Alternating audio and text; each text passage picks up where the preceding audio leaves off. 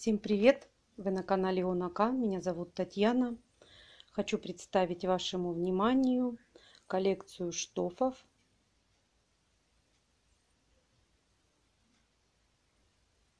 Их у меня на сегодняшний момент 8. И не планировала я их собирать. Это случилось спонтанно.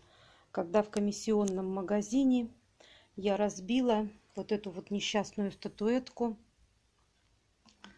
И для того, чтобы эти были пингвины в наборе, я докупила два штофа ЛФЗ.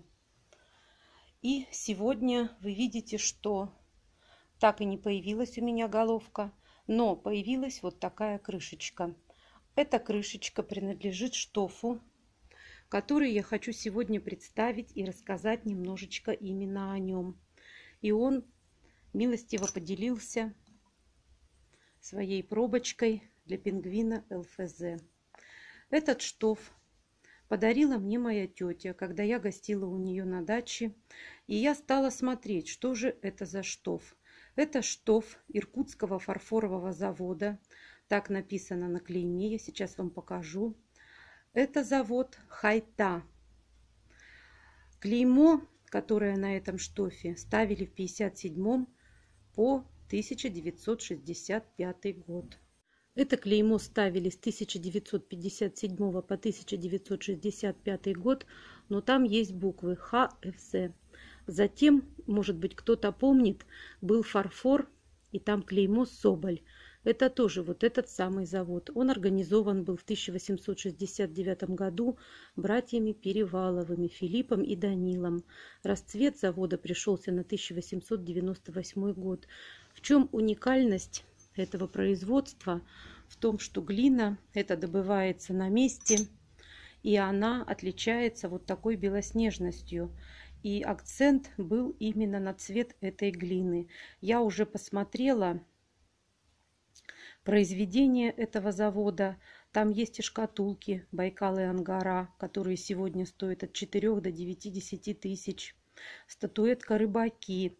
То есть тематика была вот такая сибирская. И многие узоры и роспись по фарфору именно сибирская природа. Ну а в советское время завод этот получил довольно-таки небывалый размах – и фарфор был агитационный. Вот что мы и видим, скорее всего, вот такие элементы. Наверное, это посвящено было полету человека в космос, я так думаю. И на заводе в советское время была творческая мастерская, школа крупномосковой живописи, художник Алешина. Вот, наверное, здесь вот это мы и видим на этом штофе. И я изучила ассортимент, тот, который представлен сегодня на рынке, и заказала еще один штоф. Штофы завод выпускал самые разнообразные в советское время. Это снежно-белый фарфор штоф конь, который сегодня стоит 800 рублей, штоф рыбак, который стоит 14 500. Есть штофы без крышечек по 200 рублей, но они совсем с износом, штоф сокол, горностай, белка, соболь. Выпускал завод также плакетки с символикой советской. А в те далекие годы, в XIX веке, на завод братья пригласили гжельских специалистов и также с императорского фарфорового завода, и китайских, и японских специалистов. Но вот в советское время завод был реконструирован, производство было очень сильно расширено.